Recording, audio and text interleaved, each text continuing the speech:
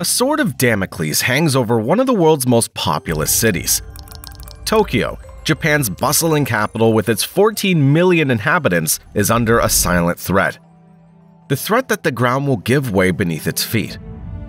Indeed, the country's authorities estimate that there's a 70% chance that an earthquake measuring 8 or 9 on the Richter scale will strike the Tokyo region in the next 25 to 30 years. A prospect made all the more frightening by the fact that such disasters have already hit the city and the country in the past, inscribing painful memories into the national memory. Far from being fatalistic, Tokyo is organizing itself to counter the threat as best it can. To do so, it's not hesitated to carry out a thorough review of its urban planning and to apply new measures that are inspiring many other countries. Today, we're heading to Japan for a new episode of Looking 4 that's sure to shake things up. Typhoons, tsunamis, earthquakes. In the land of the rising sun, natural disasters are unfortunately a frequent occurrence. One of the main reasons for this unleashing of the elements is Japan's geographical location. A volcanic archipelago, Japan lies on the Pacific Ring of Fire, at the junction of the Pacific, Eurasian, Okhotsk, and Philippine tectonic plates.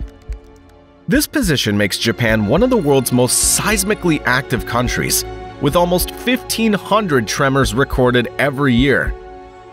While most of these are low magnitude, some are responsible for terrifying devastation. In recent years, the saddest example is surely the magnitude 9.1 undersea earthquake on March 11, 2011. This tremor, the strongest ever felt in Japan, triggered a tsunami that struck the coastline with full force, leaving the whole country in mourning, with almost 22,500 people dead or missing and immense material damage.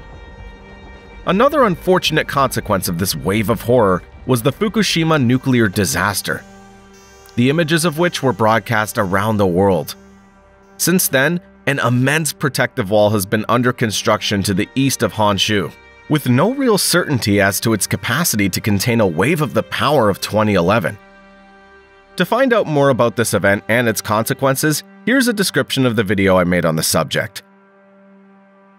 As the country's capital, Tokyo is also particularly exposed to these disasters.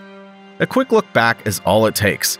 On September 1, 1923 at 11:58 a.m., the bowels of the earth were torn apart by a massive earthquake that hit Tokyo and Yokohama.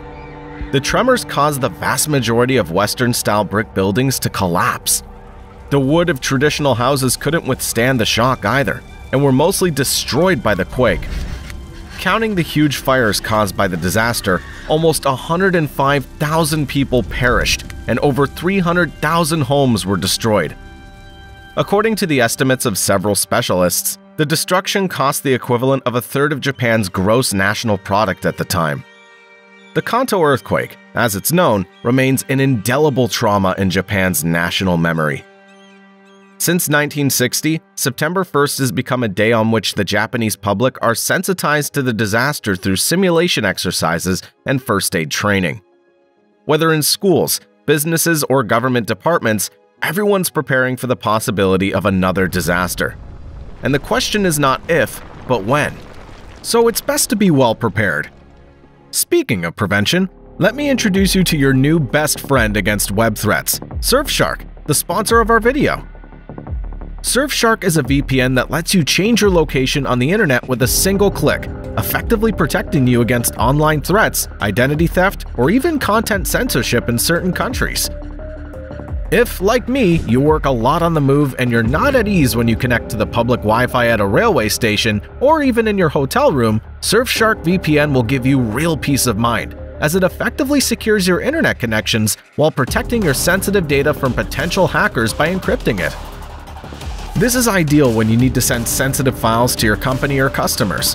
But that's not all. Surfshark also contains other useful complementary security services such as Surfshark Antivirus or Surfshark Search, which lets you search online without being polluted by advertising while preventing websites from tracking your data by making your browsing confidential, so you're effectively protected against online threats. If you subscribe now, you'll be able to take advantage of an exclusive offer and four additional months free of charge via my link in the description just below. What's more, you'll get your money back for 30 days, so it's safe to try. In Japan, on the other hand, the situation is unfortunately not without risk. Indeed, according to official estimates, there's a 70% chance of an earthquake of magnitude 9 or more striking the Tokyo region in the next 25 to 30 years. This silent threat has been dubbed the Big One, the same name as another feared major earthquake, this time in the USA. According to seismologists around the world, it's expected to occur in California along the San Andreas Fault, potentially affecting cities such as Los Angeles and San Francisco. To counteract the destruction such a cataclysm could cause, many specialists are looking to Japan. Since 1923, the situation in Japan's changed dramatically, and the country's now a benchmark for earthquake resistance. Indeed, after every disaster, the authorities have always sought to rebuild, learning the lessons of the past. Very soon after the Kanto earthquake, the Japanese authorities imposed seismic resistance standards to be taken into account in building construction. Japan's first earthquake resistant building code was introduced in 1924. In particular, the use of specific materials such as reinforced concrete, which are much more resistant to shocks, was recommended. This was anything but a coincidence. Although reinforced concrete buildings were not very common in the capital in 1923, they held up much better than other constructions in the face of tremors, not least thanks to their flexibility. Despite centuries of knowledge, the obvious shortcomings highlighted by this tragedy prompted the country to set up a seismology department at Tokyo University and an earthquake research institute in 1925. Almost wiped off the map, the city of Tokyo was rebuilt to the new earthquake resistant standards. Entire districts were redeveloped and public buildings were fireproofed. It was a pharaonic undertaking. Eight years after work began, over 3,000 hectares have been redeveloped and 750 kilometers of roads have been newly built or widened.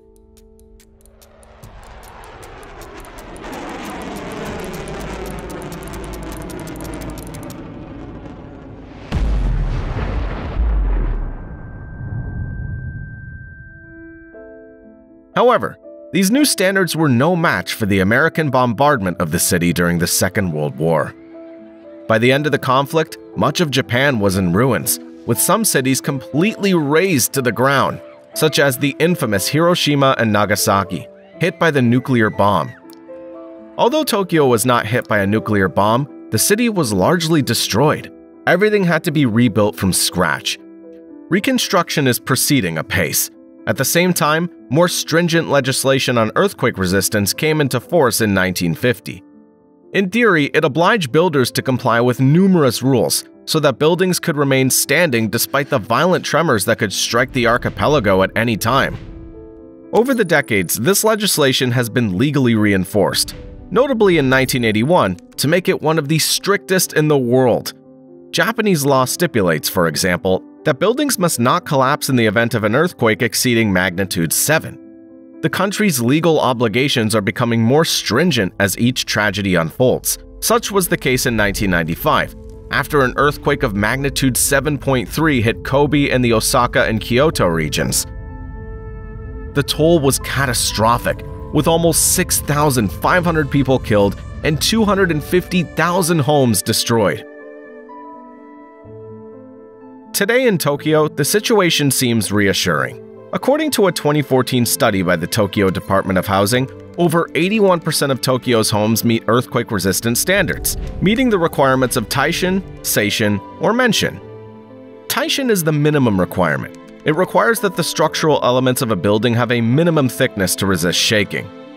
The next level up is Seishin, recommended in particular for tall buildings.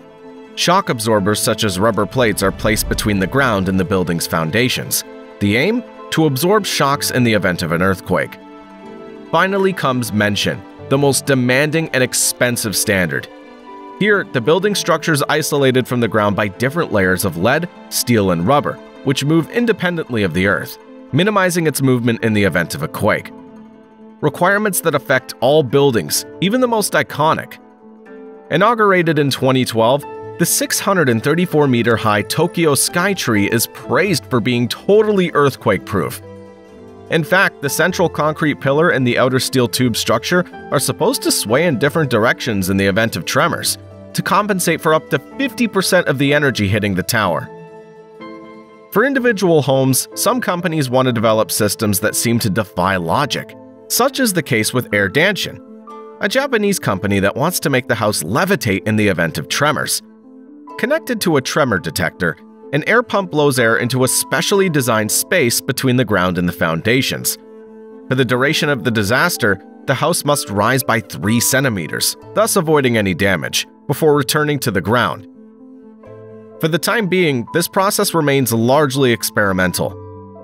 Some buildings have also designed their own engineering systems, such as the case of the Shinjuku Mitsui building, Japan's tallest skyscraper when it was commissioned in 1974 the 225 meter building is characterized by its steel reinforcements on the sides, which are designed to withstand seismic tremors. Since 2015, six massive pendulums have been installed on the roof of this 55 story building. Far from being decorative, the 300 ton pendulums swing back and forth during an earthquake, counterbalancing the building's lateral movements. By 2020, Tokyo had nearly 3,500 buildings with more than 20 stories. These structures are designed to withstand earthquakes, according to their builders. Generally speaking, taking account of earthquake-resistant standards increases the cost of construction by almost 20%. But this is a small price to pay to avoid having to rebuild. Beyond standards, Japan also invests billions of dollars in renovating buildings to bring them into line with the latest and therefore most resistant standards. This applies to fire safety, which was the main cause of death in the 1923 Kanto earthquake. Entire residential areas with a high concentration of wooden houses inaccessible to firefighters are to be redeveloped. Other measures include automatic power cutoffs thanks to earthquake-sensitive circuit breakers and the renovation of buildings to make them fireproof. Flooding, which is more likely to occur after a typhoon or torrential rain than after an earthquake, is also anticipated, with a dozen monumental underground reservoirs and three protective tunnels crisscrossing the bowels of the city. More generally, Japan's been equipped for several years with a warning system called J Alert, used for the prevention of natural or military risks. In the event of an alert, it broadcasts instructions to citizens in a matter of seconds via TV channels, radio, telephones, and street loudspeakers.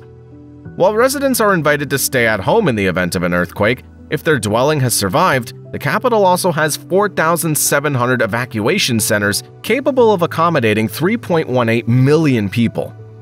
By April 1, 2023, local authorities in Tokyo were stocking 9.5 million instant meals in some 400 warehouses, the fact remains, however, that Tokyo's unbridled post-World War II construction is not without its seismic problems.